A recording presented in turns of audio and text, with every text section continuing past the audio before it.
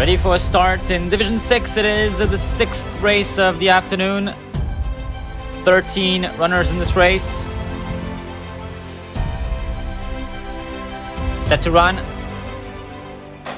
Racing at 1,300 meters. Uh, quickest out of the gates uh, from bell number three is number five, Duang Jaipi. Second position on the outside for number one, Pao Tang and Tinapat. In the purple cap, cruising in third is number seven, Monko Prisha. Hua Hin is also there for Palang Chai in the bright green cap. Uh, running in the center of the track is uh, currently number four, Lut Mongkon. And number eight, Betong. Back of the field is currently for the brown cap of Kun Lada. They swing left in the final turn now.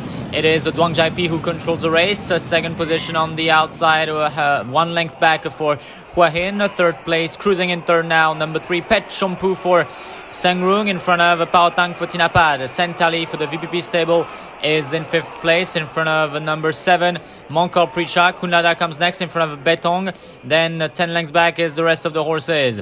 They are now about to enter the final stretch with the Duang Jaipi still controlling the race and leading the way. But here comes Pechompu on the inside and Sand Talli is now being launched by Tep Monkon against the rail. Hua Hin is also there in front of the Pao Tang on the outside of the track and Kunlada as well in front of Duang Jaipi and Monkon Pricha. Betong is also not far. It is now a, a, fight for the for the victory between four horses. Sand Talli on the inside in front of Petron. Pugwain is also in front of Baotang. Sand Talli takes it. Sand Talli who's just to the right. Sand Talli wins it in front of Pao Tang. Wahin is third in front of Petron We'll see the replay of that. I believe there will be an inquiry following this. We can see that uh, Sand Talli goes to the right a bit, bothering Petchompu in his effort.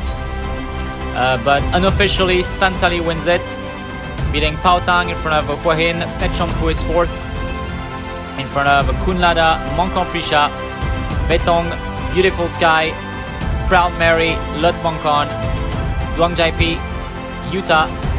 Last home was number 11, Olamour.